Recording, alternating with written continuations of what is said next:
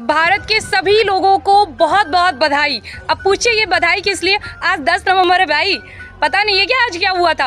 आज ही के दिन वो जो मुगलई नहीं था, अफजल खान, उसको हमारे देश के राजा छत्रपति शिवाजी महाराज ने 20 से जो पाड़ा था, हाथ में बगनक्का पहन रखा था, याद है ना? आज ही के दिन 10 नवंबर के दिन, अफजल खान ने भाईचारा निभाने के लिए हमारे छत्रपति शिवाजी को बुलाया था। बाबू, राजनीति, वो भी ब्राह्मण से। वाह, चलो कोई नहीं। मिलने तो गए, लेकिन उन, उनको पता था ये मुगलई, ये मुल्ला अपनी औकात से बाज नहीं आने वाला।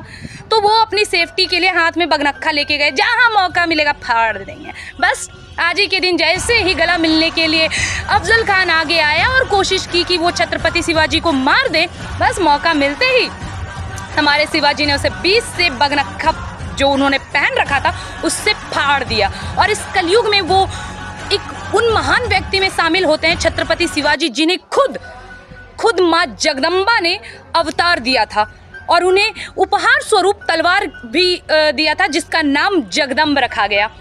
तो हमें गर्व करना चाहिए। हमारे देश में ऐसे महान राजा थे। कौन ये मुगलई अकबर बाबर? अफजल ये सबको पढ़ रहे हैं। और बहुत जल्दी। बस बताना यही था, बहुत बड़ी मैटर नहीं है, लेकिन बताना यही था कि जो 10 नवंबर को हुआ, वो अभी फिर से होगा। अफजल खान की जितनी भी पैदाइशें हैं ना, उन सब का भी हर्ष यही होगा। तो भाई, लेट किस बात का हिंदुओं? उठो, जागो और बनो छत्रपति शिवाजी महाराज। हर हर महादेव। जय जगदम्ब।